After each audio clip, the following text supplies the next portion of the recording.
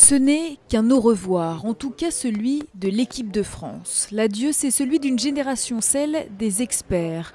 Les anciens tirent leur révérence, mais la relève a déjà commencé avec la génération 84, emmenée par Nicolas Karabatic.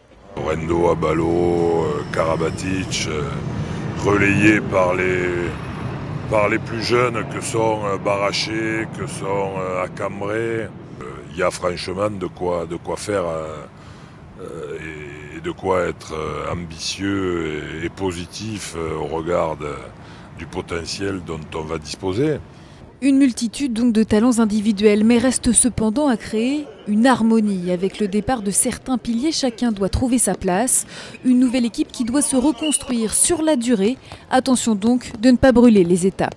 Il ne faudra pas les remplacer pour essayer de gagner euh, à l'Euro 2014. Il faudra les remplacer pour faire une belle équipe pour euh, les Jeux de Rio 2016 et pour le Mondial en France en 2017. Des échéances attirantes, de quoi faire rêver les nouveaux et leur donner sans doute l'ambition d'imiter leurs aînés et pourquoi pas d'écrire leur propre histoire.